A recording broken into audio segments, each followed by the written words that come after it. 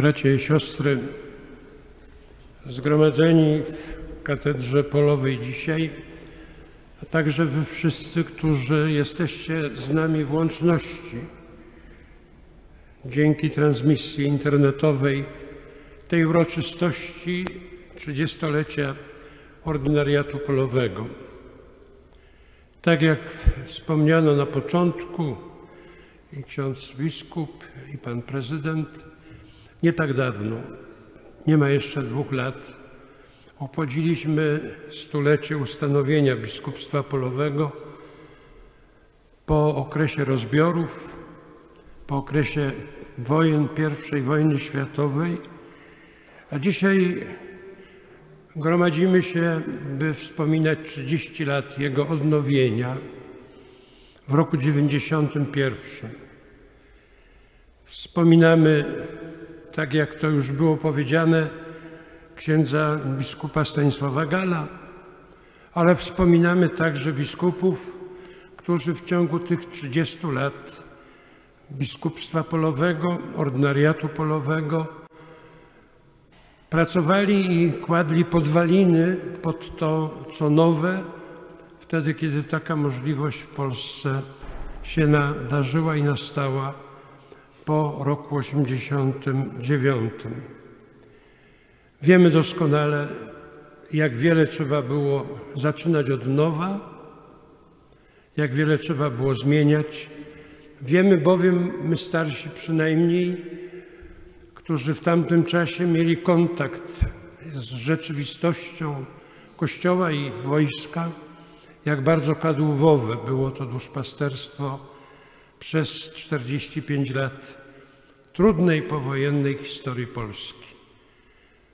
Dlatego ten dzisiejszy dzień, ta rocznica, którą obchodzimy skromnie ze względu także na pandemię, choć nie jest to jubileusz ani srebrny, ani złoty, jest ważna, dlatego że jest dla nas wszystkich wspaniałą okazją do dziękczynienia Panu Bogu i dziękczynienia ludziom, a uczynimy to czasie świętej Eucharystii, która sama jest dziękczynieniem. Dziękujemy przede wszystkim za ukształtowanie tego nowego charakteru posługi Kościoła, posługi kapelanów w Wojsku Polskim po roku 91. Dziękujemy za tych trzech biskupów wymienionych dzisiaj, którzy ustanawiali, tworzyli struktury, ale również modyfikowali na różny sposób te powstałe struktury, bo przecież życie w ogóle, a także struktura wojska i duszpasterstwa polowego jest żywa i ciągle podlega zmianom. Żeby powiedzieć tylko dwie rzeczy. Dziś wojska jest mniej i dziś wojsko jest zawodowe, więc w sposób dość radykalny jako zadanie dla kapelanów to otoczenie w ciągu tych 30 lat się zmieniło. Diecezja, każda diecezja polowa na tę rzeczywistość, która się zmienia, która jest e, rzeczywistością wymagającej, wymagającą reagowania, musi reagować i właśnie na tym polega ten stały, dynamiczny rozwój, jaki ma miejsce w ordynariacie polowym w ciągu tych ostatnich 30 lat. A więc za to wszystko, gdyby to wymieniać po części, zostało już to wymienione. Chcemy Panu Bogu, mimo szczupłości naszej reprezentacji dzisiaj, chcemy Panu Bogu gorąco i serdecznie podziękować, mówiąc także jeszcze jedno, co jest niezwykle ważne.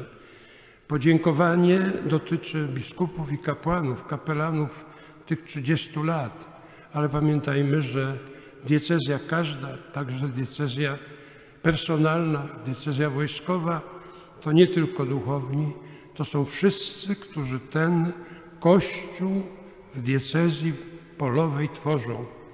To są żołnierze, to są ich rodziny, to są ludzie pracujący w wojsku, a także to są ci wszyscy, którzy z rozmaitej sympatii dla wojska ten kościół, kościół diecezjalny, Polowa diecezja wybrali, bo chcieli właśnie i chcą do niego przynależeć i to, co mówimy i to, co dziś dziękujemy Panu Bogu, za co dziękujemy, dotyczy wszystkich, którzy są tą cząstką kościoła partykularnego, jakim jest każda diecezja i jaką jest cząstką także diecezja wojskowa, diecezja polowa.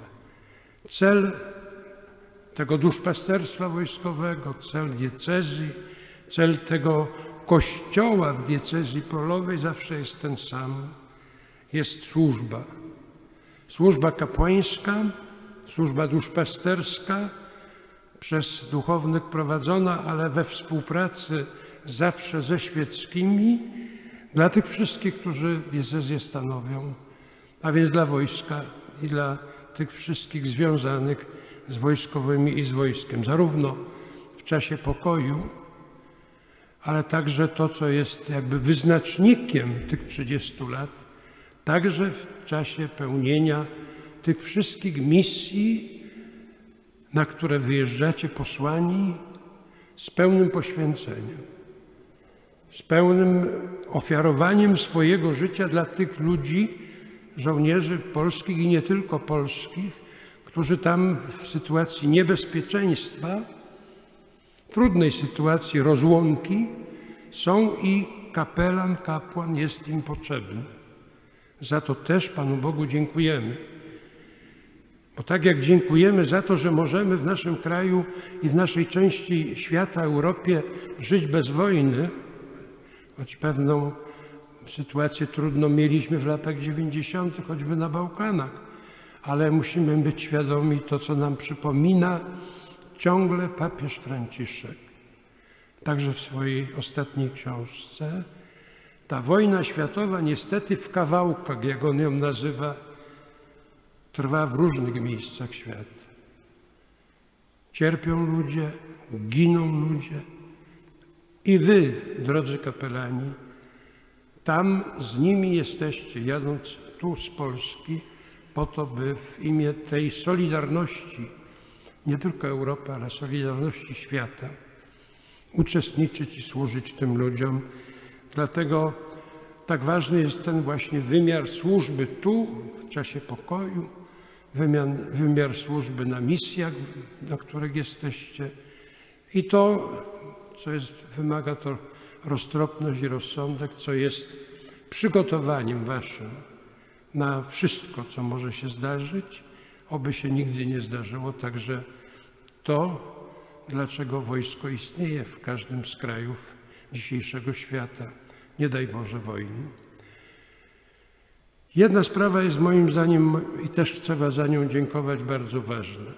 W służbie każdego kapłana, a zwłaszcza myślę w służbie księdza, który jest kapelanem wojskowym, to jest w pełnieniu tych celów niezmiennych i zadań, w tym reagowaniu na zmienne sytuacje i zmienne potrzeby, ileż tutaj macie doświadczenia, żeby dochować wierności Bogu i człowiekowi.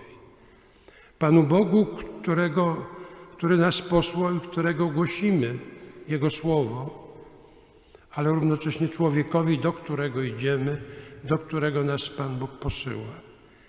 Oczywiście nie może być, nie powinno być nigdy sprzeczności między wiernością Bogu i wiernością człowiekowi. Choć w praktyce życie stawia nas w różnych sytuacjach.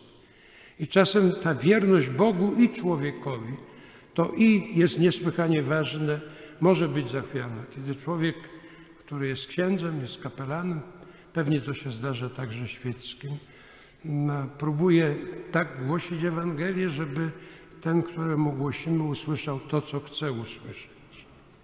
Tak troszkę się przypodobać. Ale może być także takie przesunięcie w drugą stronę, które łamie czy osłabia tą zasadę wierności Bogu i człowiekowi. Może się zdarzyć i pewnie się czasem zdarza, że ktoś mówiąc, że to chodzi o wierność Panu Bogu, tak głosi Ewangelię, że ona jest po ludzku rzecz biorąc nie do przyjęcia. Jest jakby sprawiedliwość zimna, bez miłości, która jest podstawą Ewangelii. takim głoszeniem czasem można nie tylko nie dochować wierności Panu Bogu, ale takim głoszeniem można odstraszyć od Kościoła, od Ewangelii, która jest Ewangelią prawdy i Ewangelią miłości. I taką nam powierzył, taką nam zostawił Pan Jezus i powiedział: idźcie na cały świat i nauczajcie. Nauczajcie wszystkie narody. Z tym się wiąże także z tą zasadą wierności Bogu i człowiekowi, z tym się wiąże także szczególność, specyficzność, kochani kapłani, waszego powołania kapelańskiego i kapłańskiego. Nie ma sprzeczności i nie może być sprzeczności między posługą kapelana i wiernością żołnierzom i rodzinom. I nie ma sprzeczności między powołaniem kapłańskim a powołaniem do kapelaństwa. Nie może być sprzeczności. Tak jak nie ma sprzeczności między sutanną a mundurem, e, których to w rzeczywistości używacie na co dzień waszej posłudze kapelańskiej. Kapelaństwo wojskowe jest bowiem szczególnym rodzajem powołania kapłańskiego. Nikt sobie sam nie bierze tej godności, chyba że jest wybrany przez Boga. I idąc najgłębiej w myśleniu o kapelaństwie wojskowym, o Was, drodzy księża, trzeba właśnie powiedzieć, że nie zrozumiemy tego powołania, tego szczególnego powołania i tej łączności powołania do kapłaństwa i do bycia kapelanem, bez tego e, powołania, które jest darem Boga. Poszedłem do wojska, by być kapelanem, służyć ludziom, nie dlatego, że mi się mundur podobał, poszedłem nie dlatego, że coś tam się w diecezji nie poukładało, tylko poszedłem po to, by służyć w tym szczególnym miejscu, gdzie człowiek potrzebuje tej normalnej, a zarazem specyficznej posługi kapłańskiej. I tutaj warto może na koniec zatrzymać się na chwilę nad dzisiejszym Słowem Bożym, które nam Pan Bóg przedstawił, któreśmy usłyszeli i wysłuchali. Jest to słowo o powołaniu. Jest to słowo o powołaniu najpierw Samuela, i oczywiście wszyscy bardzo dobrze znamy ten fragment Pisma Świętego, nie będę go przytaczał po raz drugi. Chciałbym się zatrzymać tylko na tym jednym e, człowieku, którego nazywam weryfikacją, czy weryfikatorem powołania kapłan Heli. Gdyby nie był rozumny, mądry, doświadczony, prawdopodobnie po pierwszym przyjściu Samuela w środku nocy od razu by mu wyznaczał jakieś zadanie. Trzykrotnie do niego przychodził. Ten, który dokonywał weryfikacji, czy to rzeczywiście Pan Bóg woła, czy może jest to zachcianka młodego Samuela, był mądry kapłan Heli.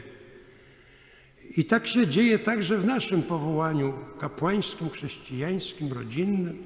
Mamy takich weryfikatorów. Każdy z nas mógłby przytoczyć, będzie to czasem ksiądz, proboszcz, ktoś tam spotkany na drodze, który stawiał mądre pytania w rozmowie, czasem w konfesjonale. I dzięki temu jesteśmy tam, gdzie jesteśmy.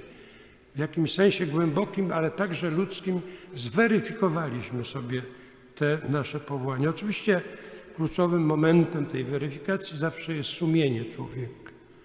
Sumienie powołanego przede wszystkim tym, który weryfikuje jest Kościół, ale tym, który weryfikuje wasze także powołanie do służby kapelańskiej jest seminarium.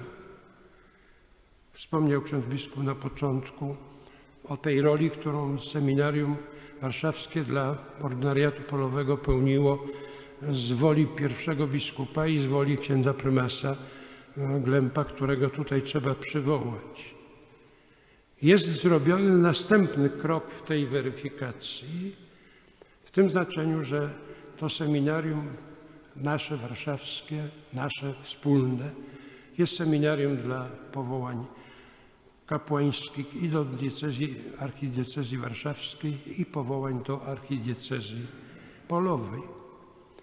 Wspólna formacja, ale także wspólna weryfikacja przez sześć lat bycia w seminarium i potem jeszcze przez kilka lat pracy w normalnej diecezji terytorialnej, zanim się człowiek jakby sprawdzi i przygotuje do tej podwójnej roli i, po, i przyjmie tę weryfikację, która mu powie i potem w sumieniu zgodnie, spokojnie może iść dalej, że to było nie tylko powołanie do munduru, ale to było powołanie do sutanny najpierw, a potem do munduru i w ten sposób ta służba ludziom, którzy są, którzy są powierzeni Wam decyzji polowej staje się służbą pełną, wynikającą z doświadczenia. I drugi fragment Pisma Świętego, dzisiejsza Ewangelia, znowu nie wchodząc w szczegóły. Pan Jezus powołuje apostołów, sam to robi. Popatrzmy na postawę Jana Chrzciciela, co jest niezwykle ważną rzeczą wtedy, kiedy my jako duszpasterze idziemy, by ludzi czy ludziom mówić na temat ich powołań życiowych. Jan Chrzciciel nie zatrzymuje na sobie – wskazuje na Jezusa. Oto baranek Boży. I popatrzmy na drugi szczegół, jak mianowicie zafascynowanie Jezusem przez Andrzeja sprawia, że ten idzie do swojego brata Piotra i mówi warto. To jest ten, na którego czekaliśmy. I przyprowadza go do Pana Jezusa. I ten przyprowadzony przez Andrzeja dzięki Andrzejowi i dziękujemy Andrzejowi, że go przyprowadził, a równocześnie Piotrowi, że przyjął to zaproszenie, to przyprowadzenie nie tylko, że staje się jednym z apostołów, ale zostaje wybrany przez Pana Jezusa na najważniejszego z apostołów, który stanie się skałą, na której to skale Pan Jezus będzie budował Kościół. Co to znaczyć może dla nas? co to znaczyć może dla Was, kapelanów, którzy podejmujecie tą szczególną służbę. Wszyscy jesteśmy zobowiązani do tego, by do Jezusa przyprowadzać ludzi. I prawdopodobnie kończy się czas w Kościele, w Polsce też, gdzie będziemy przyprowadzać masowymi grupami. Będziemy przyprowadzać pojedynczo, tak jak święty Andrzej przyprowadził świętego Piotra Apostoła. I to przyprowadzanie będzie istotą i myślę, że nikt bardziej niż wy, którzy jesteście w tym pięknym środowisku wojska, ale specyficznym środowisku wojska, jesteście nauczeni owego przyprowadzania. Wasze pójście do konkretnego żołnierza w jednostce czy na misji, to takie indywidualne duszpasterstwo jest cechą specyficzną każdej diecezji personalnej, a myślę, że w przypadku diecezji wojskowej także.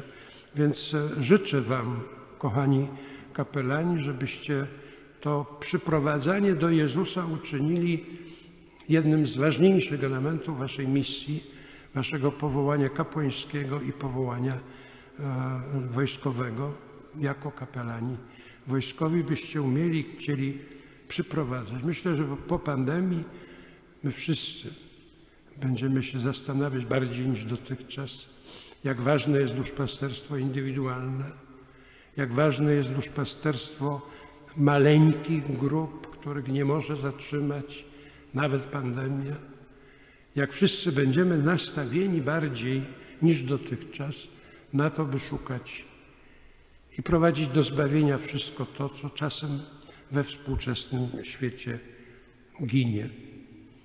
Dlatego rozważając to wszystko z racji trzydziestolecia polowej diecezji, ordynariatu polowego, módlmy się, dziękując, ale módlmy się także prosząc Pana Boga o męstwo i wierność naszym życiowym powołaniom, wszystkim, tym do kapłaństwa i do kapelaństwa, ale także tym powołaniom chrzcielnym, którym jesteśmy wybrani i naznaczeni, i tym powołaniom zawodowym, które się wyrażają w wojsku i w rodzinie i w każdej dziedzinie naszego życia. Niech ta modlitwa, którą zanosimy dzisiaj przez wstawiennictwo świętej Agnieszki, będzie nam towarzyszyć w czasie całego dzisiejszego świętowania i Eucharystii.